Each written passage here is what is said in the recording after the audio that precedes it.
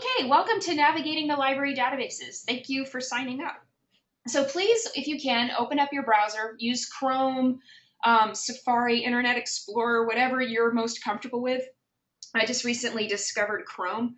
Um, it's pretty awesome, and I'm able to have really no logistical problems in, in doing my searches. Now, how familiar are you both with the library website? Have you used it before? What's your experience? Um, I just started looking at it the other day. Okay, good deal. And Robin, how comfortable are you with it? Okay, you used it for the last two graduate English classes. Okay, good deal. Now you both are master's students, so this is great because you're pretty much familiar with a lot of it. So I will not spend too much time with the basic searches and we'll look at the more graduate level searches.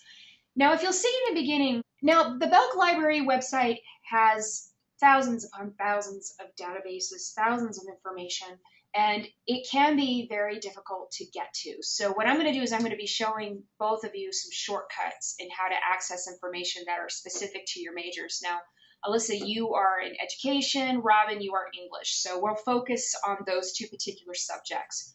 Now, most students, predominantly all students, are used to using the app search button right here. This is set up to look very much like a Google search because let's face it, we love Google. Everybody uses Google. But the issue with this is that it does not cover all of the databases. You are actually only looking at a small portion of the library collection when you are doing a search using this box. Now, why do we have it if it doesn't search everything? Um, there's a couple of reasons. It's it's kind of psychological mostly because so many students and faculty are so Google centric. They're just so used to using Google that this system um, just makes the most sense to them. So we have it up there so you can do a search. So go ahead and, and, and type in your research in your browser. Okay, so just by doing a, a basic search on education, um, if you look up here, you'll see that it's kind of broken down between books and more and articles. But it's funny because if you scroll down, you'll see articles. So it's a it's a little kind of a little confusing. Um, you can refine on the left-hand side. So say you have a project where you have to have five books and five articles. So you can click on and just get book searches, or you can just get ebook searches or website. So just click on one of those links. Okay.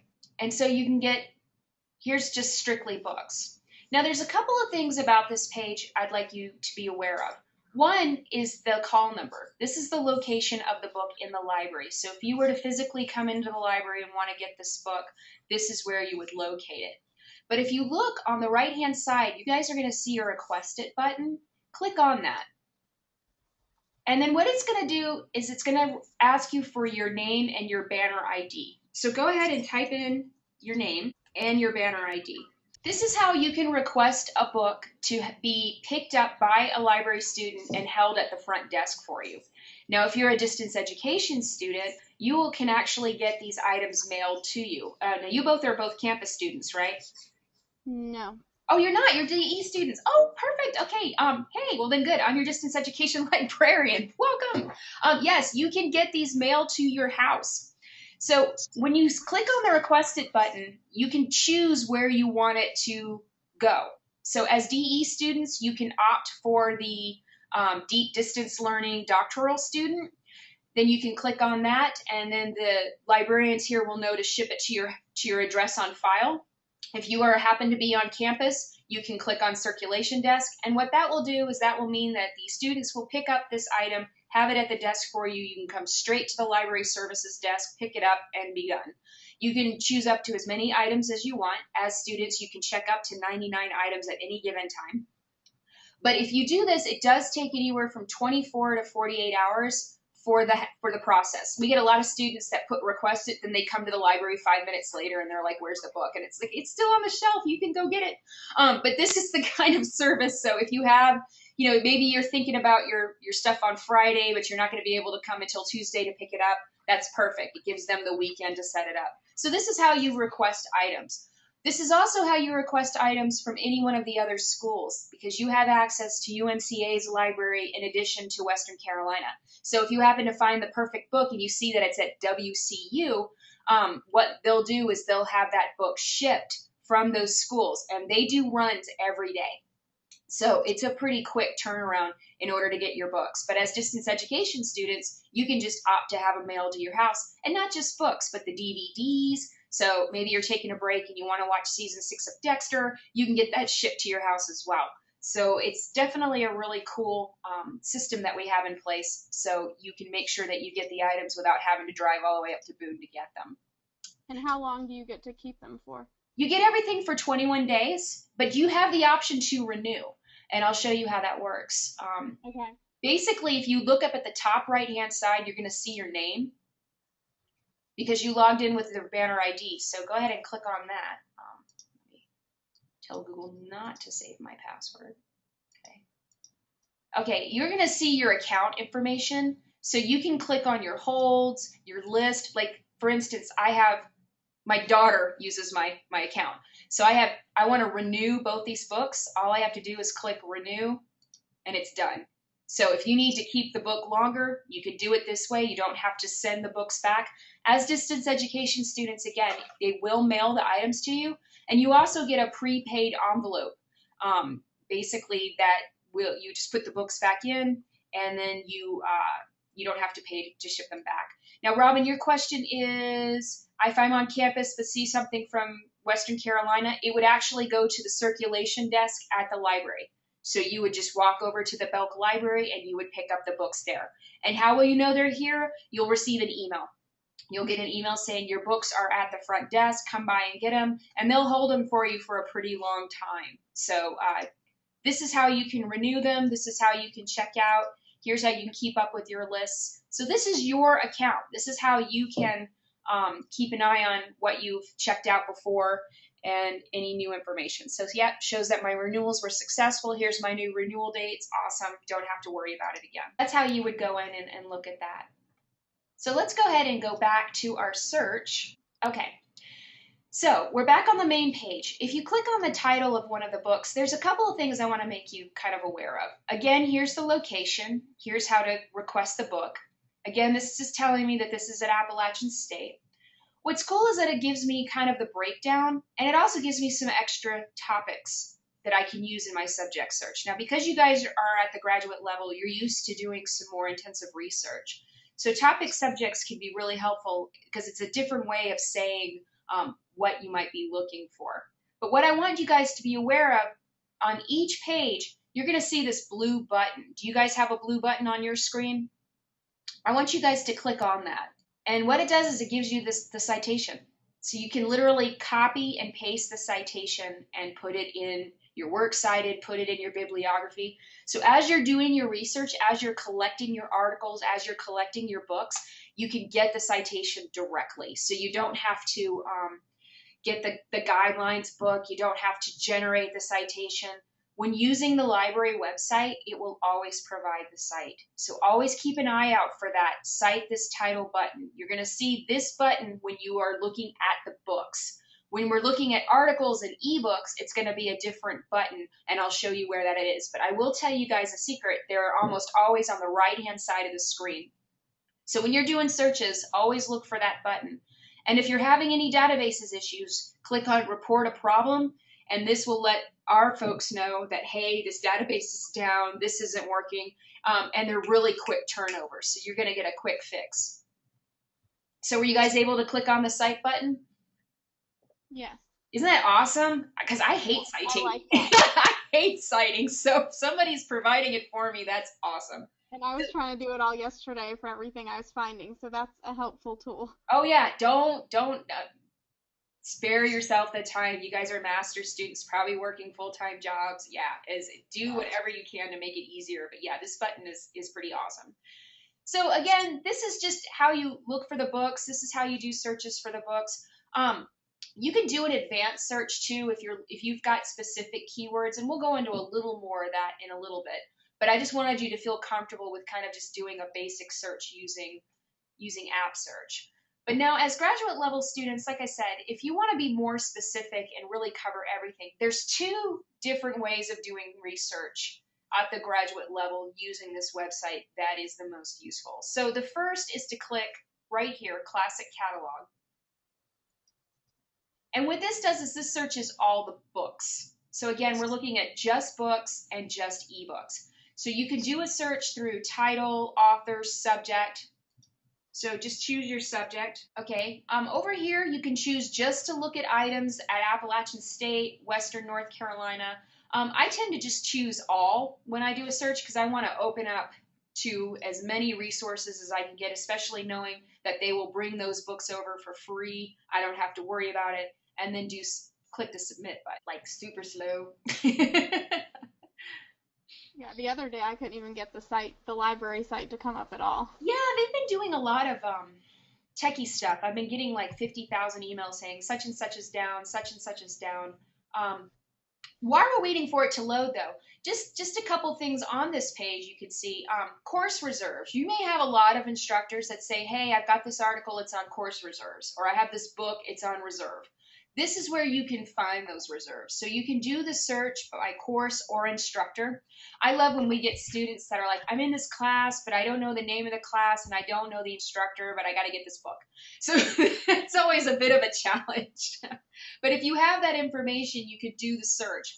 And what's cool about reserves is that they're predominantly online. So just by looking up the instructor and the course, you can access those articles directly. They'll be saved as PDFs. You'll be able to download them on your computer. You'll be able to get your own free copy. And so that's kind of a cool tool right here. Okay, so here I've done, I've done my search. Here's English literature. Um, if you scroll down, it gets more specific. So the more specific you are in your search, the less um, the less hits you're going to get, you know, kind of like Google. But basically, let's say um, I'm just going to click on a random English literature. And again, this is just how you search for books. So if you are just looking for specific books or ebooks or microfiche, this is how you would do a search. Now, the reason why I showed you this is because, like I've said before, using the app search, using just this, it's not going to look at the whole collection. But when you use this button, it does look at the whole collection. So you are looking at every book that's available within that particular topic.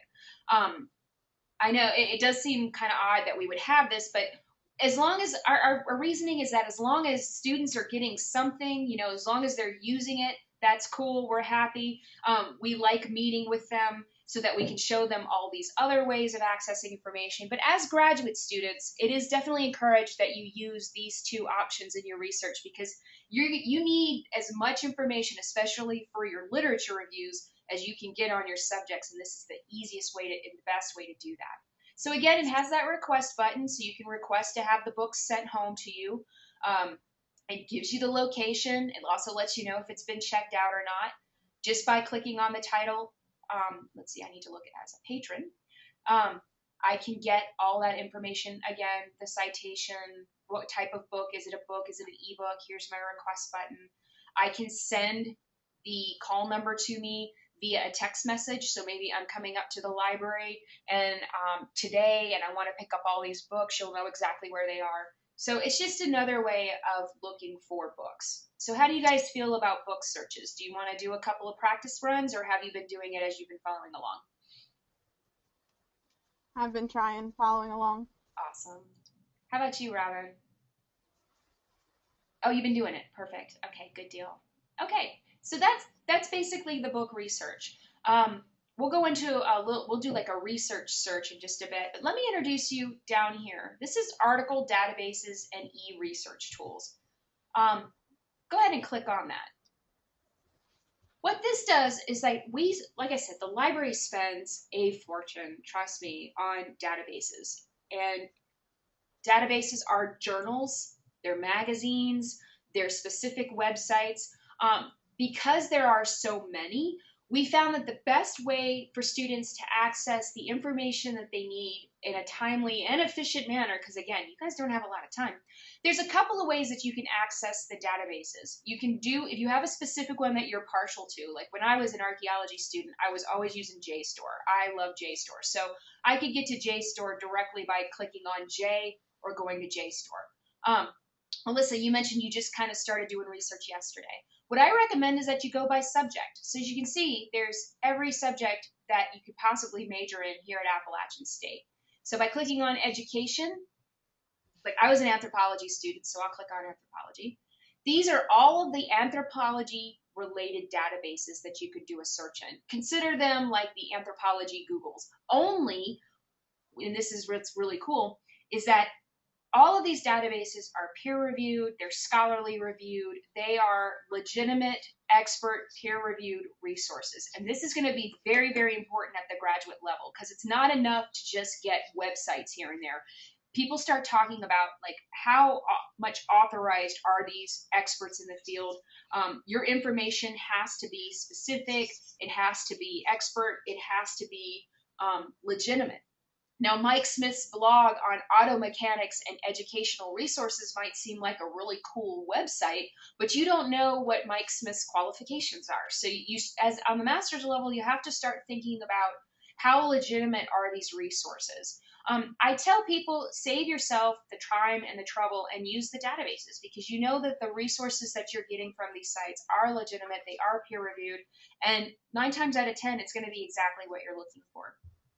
So as you can see, there's quite a few databases on anthropology, or if you're looking at the English Robin or Alyssa, if you're looking at the education, you're going to see that there are a lot of databases that are just related to education. So you can do that same search that we did with the books in one of these. So just choose one. I like Academic Search Complete. And then click on the Advanced Search tab and type in a couple of keyword searches. This is your research. So maybe you have a specific paper. Um, education, um, let's see, you talked about um, year-round school as opposed to part-time school. So I'm trying to think of what would be the best way to describe that. Here's your search. Now look on the left-hand side. When you're doing your search, there's a couple of ways that you can narrow things down. I am one of those people that I have to have the full article. Whether I'm going to read the full article or not, I need to have the full article. So you can limit your search to just full text because there's nothing more annoying than finding the perfect article and then finding out, oh, this is just a citation. So by clicking on the full text, I am getting just full text articles. You can also limit to if you're just doing peer reviewed journals, maybe you're not interested in magazines or newsletters, you can click on scholarly journals. That narrowed down my search to five. So maybe I don't care about that, so it brought my search back up to 41. You can also alter the publication date just by messing with the dates here. So maybe you just need the last 12 year or 10 years as opposed to the last 40. Okay, that narrows down your search too. And you can also limit to magazines or academic journals, so you can play with this a lot um, to, to what you're most comfortable with. So here's this one. This seems like an interesting article. So click on the title. Again, it gives you different ways to say it. So school year, we might want to change our search later to that. The thing about research is there's it's never it, it's like that scene, you know, in Indiana Jones where he's like, X never ever marks the spot. Research is the same way. You're never going to find everything on the first hit. You got to come up with different ways to say it, use different keyword terms, use different search terms, especially at the master's level, because you have to find so much information for your literature review. So that's where these subject terms come in handy because they're simply different ways of saying what you're looking for. So check it out.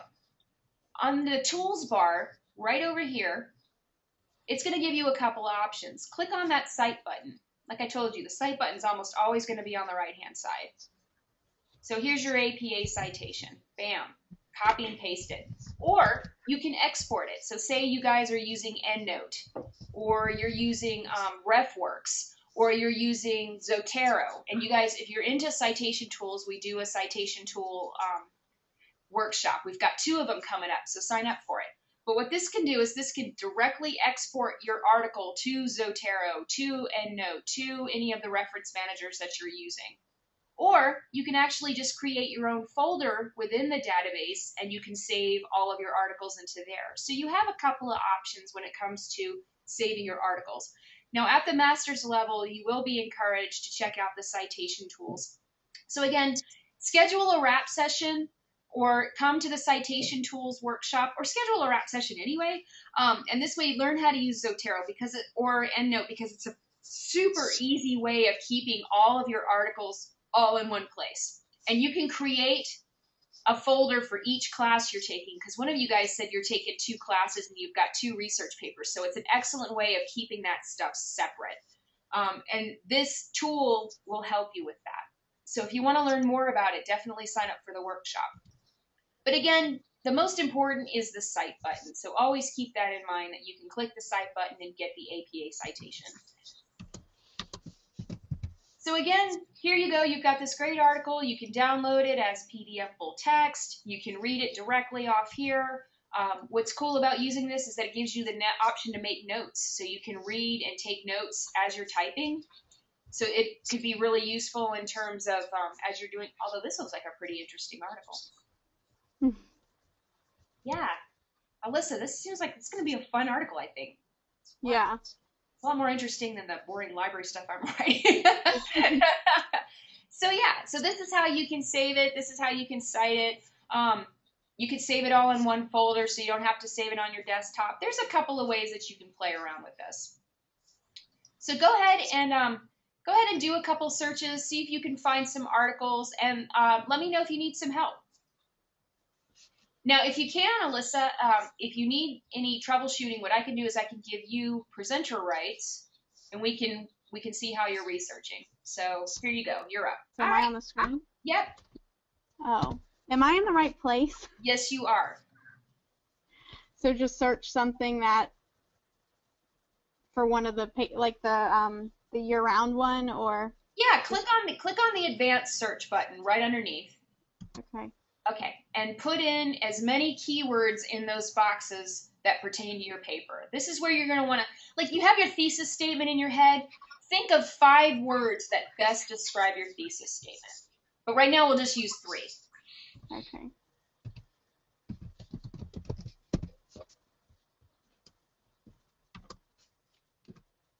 Oh. Don't worry, there's just three of us. So you're not on the spot. Um. Awesome. And then search. And then search. All right, good deal. So you're getting some good stuff. Um, like I said, feel free to limit to full text if you just want to get the whole article. Um, put as many limitations as you want, or if you just want to play around and see what you get. And so if I wanted just the scholarly, I'd click there too. Right. Oh. Yeah, see? Now click on the like click on the title of the first one. That, that would be a good comparison paper. You know, how does it work in California as opposed to or south versus north or east versus uh-huh. west? But like I said, check out the subjects. These are different ways of saying year-round calendar. So by looking at the subject terms, maybe you could jot a couple of those down when you're doing your search. And instead of using year-round calendar, maybe you'll try school schedules. Um, uh-huh. Um, like I said, it's just it does give you some options when you're searching. And then you know you've got the cite button on the right hand side. Um, you can save the article onto your desktop or into a folder. But do you feel comfortable with it? Yes. Awesome. Okay. Robin, how are you doing? Let me uh, let me give you presenter rights and see see what you're up to. Okay, so yeah, click on the advanced search, and that's where you'll be able to put in all your keywords. Oh boy, you both have a lot of really interesting. Um, oh yeah, you don't. Perfect. She's actually taking it a step further and being very specific about her search. That's really cool. Thank you for actually doing that, Robin, because I didn't get a chance to show you that. But yeah, you can limit your results in your search like exactly like she's doing. Robin, you're great. You should be teaching this class. cool. So she was more specific. So it, it just went to articles that were now very good point, Robin. As you can see, the stuff that she actually put in, we don't have the full text for. So this is a very good point because this introduces us to interlibrary loan. Now, we have um, access to thousands of libraries in 180 different countries based on our interlibrary loan subscription, which means that if we don't have the article, we can get it for you. So, Robin, click on that Find at ASU button. It'll be right underneath right underneath the title. There's an orange button that says Find at ASU. Okay, perfect. Okay, This shows that we do not have access to it. However, you can request it from another library. So go ahead and click on the request from another library. Perfect. Now this is our interlibrary loan. You can get novels, you can get articles, you can get, this is like I said, this gives you access to libraries everywhere. So if you have never used interlibrary loan before, you're gonna wanna click on new user and then you're gonna register. This is going to take just a couple of minutes. You guys don't have to do it right now, but what you'll do is you'll register. You'll give them a username and password, and then you'll get a screen. In fact, let me show you how it works. I'll, I'll show you. Okay, Robin, you are awesome because that was actually a segue into interlibrary loan. Okay, so she clicked on um, interlibrary loan. So if you are a first-time user, you're going to want to click here to get an account. So you'll fill out all the information. And then you can use whatever username and password you want. I use my App State one because it's one less username and password I have to remember. But what you'll do is you'll log in and you'll choose what you need to request, whether it's the article, a book, and then you're going to want to put in as much information about that article and book as you can. And then you click submit. This goes to the interlibrary loan librarian. She finds out where it is, the local library, and then she gets it sent to us and we turn around and send it to you. Now you can log in every day to see the status of the books. So you know exactly when the request was made and you have a tentative when it's going to get here. So it's pretty awesome in that regard. Now, if it's an article, they're pretty quick. You'll get it in about 24 hours to maybe two days.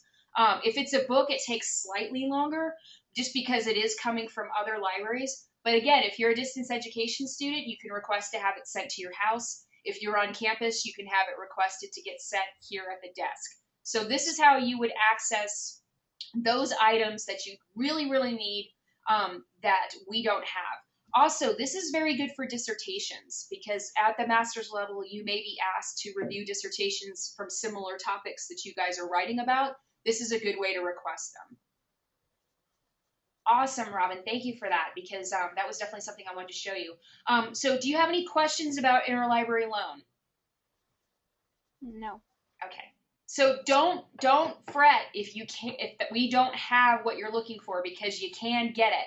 Um, but just keep in mind that when you're doing your research to to really start thinking about your stuff like before because I mean you're master's level, so you guys aren't freshmen. You aren't waiting to the last minute to write something. So I don't worry about you guys. Um, but it is it's a really great tool because you can get all of the information. Um, sometimes it just takes a little time to get it. So how do you feel about searching the articles in the databases? Pretty good. Awesome. Okay. Very cool. Um, Google. We love Google. Everybody uses Google. If you use Google from our Belk site, this is pretty cool. Instead of just going to Google and typing in Google Scholar, come here and click on our Google Scholar link. What this does is this takes you to Google Scholar, but if App State has a copy of that article, you can get it directly from our databases. Hmm. So you know sometimes when you're using Google and you click on the article and it takes you to this page where if you send them $45, they'll send you the article. Don't do that. Um, copy that information, put it in interlibrary loan, and send it to Diana, who's the interlibrary loan person, and then she'll send the article to you for free. But also, you can actually just access, if we have it, it'll show right here on the right hand side, so you can access it directly. So here it is. So you are getting this from the library website. So that's pretty cool. So you can still use Google Scholar, but you're using it kind of wisely in the sense that you're going to get um, access to the article, whereas if you just use Google Scholar standalone, you may not. Okay. Um, when looking at the article databases, um, let's say Robin's an English major. Now, you guys saw the databases, right? Very cool. Mm-hmm. You can go down and search. But if you look on the right hand side, you're going to see what's called Guide for Research. Are you familiar with the library guides? No. Okay. Robin, have you used the library guides before? Okay, first time today. Awesome. Let me give you kind of a background. What library guides are are that they're kind of one-stop shop how to for information that goes beyond what's on the library website. So, for example, um, in English, some professors may meet, hook up with one of our librarians and create a guide just for their class. So maybe you're taking English 45, 60 young adult literature. All of these resources were brought together by Margaret and Jewel that are just specific to that class or to that subject. So you're in that class, you're talking to the professor. Um, if you look here, here's an overview of where some information. You can go directly to the books and ebooks. Here's some useful subject headings that they give you. Tell you how to get information from the IMC. Maybe you're just looking for articles. So here's, they've picked out specific articles that are just for this class as opposed to the subject as a whole. They even will find web resources. Here's some legitimate web resources that you can use in your research. Now, something about the internet to be wary of. Sites like .com, .net, .org, anybody can create a .com site or a .net site. Anybody can pay GoDaddy 19.95 a, a month and create a website about education. That doesn't necessarily mean that they're an expert. Sites like .gov or .edu are the ones that you're going to want to use because those were written by the experts. So even though the internet has a lot of information, you have to be very, very careful about um, the legitimacy of those sites. So what's cool about using library guides as part of the research process is that the librarians have done the hard work for you. They have searched out the site, they have determined its legitimacy, and if it is a legitimate resource, they'll post it. So all of these sites are going to be legitimate sites to get information. Um, what's cool about Margaret and Jules' team is that they'll add lesson plan examples or some really cool websites that you could go to create lesson plans. Um, here's some curriculum standards where as a teacher you're going to start thinking about all of that stuff. They add extra things um, that you may not necessarily be aware of. Um, one of these guides I did uh, for archaeology, for archaeology students, was I did the same thing. Here's some useful books, here's some articles, but I also added a link to professional associations and resources because I can remember being an archaeology student and my parents, uh, where are you going to get a job in that? How are you going to work? How are you going to support yourself? Um, so I added links on how to get jobs. Here's links to all the archaeology jobs. And some of these guides will have that. So you have like this beautiful mix of what the library has and what is legitimately out there on the internet. Plus, even better, especially in regards to um, Margaret and Jules, is that you have their contact information. So if you ever had any questions about um, the uh, if you had questions about research or you had questions about one of the sites, here's their contact information. I actually put a picture of my dog, but here's a lovely picture of Greta so you can see what she looks like. But you can email her, you can contact her and say, hey, I was on your guide. There's this really great link. I had a couple of questions about it. So just know that you you always have help. And two, on the library website, you're almost always going to see a chat box. So if you were to go back to the main site, and you see the chat box, just type in and just say hi. Um, it does take about a second or two because there's a bunch of us monitoring this, but you can always get instant help. The library chat box is pretty much open the whole time the library is open. So up until nine o'clock, you're going to get one of our librarians, but after nine o'clock, we switch it to NC Knows, which is the statewide. So you might get a librarian who's on who's working at ECU or you may get a librarian from one of the UNC schools that can answer your questions and help you. So you will always have help, whether you're writing that paper at, at 3 o'clock in the afternoon or you're like me after you put the kids to bed and you've worked all day, you've cleaned the kitchen, done your laundry because you've stalled as much as you possibly can. Now you've got to write the paper. I need help. It's 12 o'clock. You can get it. So see, um, it's pretty awesome. Testing for Thanks so much. So any questions? Is there anything you would like me to show you? Um, this is your chance. Are you just like so gung ho filled with information you're ready to go? Possibly, yeah. I think it helped a lot, I guess, to searching now where I was unsure of where to find when they said scholarly articles and everything. So now this kind of zoomed into where I need to look and how I need to do it. Awesome. Well, something else too I want to go ahead and show you. Um, on the main page, so you saw the article databases, you saw Google Scholar. If you were to click on journal and magazine title, so again, maybe there's a specific journal that your professor is telling you to get an article from. We get a lot of students who come in and they're like, you know, I have to get this article from American Anthropology or I have to get an article from the Journal of American Education.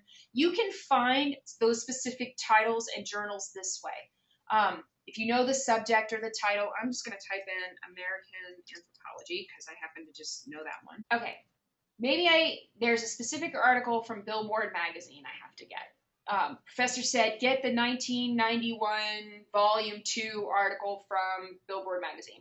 Here is all the locations of where we have it. So as you can see, here's the dates. So you want to make sure you're within the right date. And here's a list of all the online copies that we have. So you can check out all of the issues by date, by volume, and then you're basically reading the magazine right here. So here's all of the articles within that version.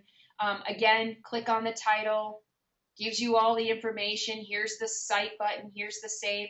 So this is how you can basically do a search looking for a specific journal or if you are looking for a specific article and you're just not finding it, this is kind of a shortcut on how to get there. So what's cool about it is you can do a search by subject and trust me, this is going to go through like the millions of articles that we or the journals that we have. So we have over 2,000 for education alone. Okay, so here you are. You're really kind of looking down even more, narrowing down information and the different types of journals that we have. So again, if you need a list of journal titles, this is a good place to go. And if you have like a specific journal that you like, this is the, a good shortcut. So you don't have to do the basic, you know, the main search. You're just searching specifically. And that's right under journal and magazine title. And just for fun, I love to show people this. If you click on A under our databases, we have access to Ancestry.com. So you can play with this for free. You can create an account and search your family, which is always fun. I get a, a lot of students, I lose them when I show them this. And also, if you're interested in learning other languages, if you go to M and click on our Mango database, Mango languages, you can practice any one of the 63 languages that we have. so we have access to all of these. Hmm. So if I ever wanted to learn Haitian Creole, this is how it works. It's a lot like Rosetta Stone, only I think it's more fun. And I let my kids play with this. By the end of this chapter, you'll be able to easily participate in a conversation like this. Bonjour. Comment est? Muy bien. Et vous-même? Muy bien to say hello, how are you? You would say bonjour.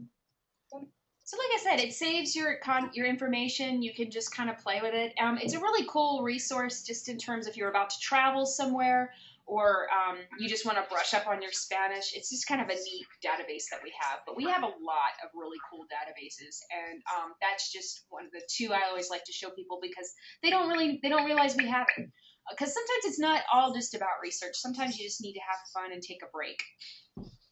So one more link I want to show you that's super important are the RAP sessions. Now you guys came to my workshop, you got a lot of information, but what I recommend is that you guys schedule a RAP session for every class you're taking. You can meet online like we're doing right now, you can meet in person, but basically, what you're doing is you're going to sit down with a librarian, and you can request specific librarians. So if you're like, "Hey, I really like Kelly. She was cool. Haha. Um, I'm going to meet with her." You can go ahead and click on this request a RAP session form, and we could talk about whatever you're working on. So, um, Alyssa, you said you're taking two classes. Well, maybe you saw all the research for this particular class. Maybe you need help finding it for another class. You can do a standing meeting with a librarian and every month or every semester you could be like hey um, can you help me get some information on this basically mm-hmm. what the librarian does is we look ahead of time we'll come with you for a list of resources that we recommend and then we'll sit down with you and walk you through until you're comfortable with it.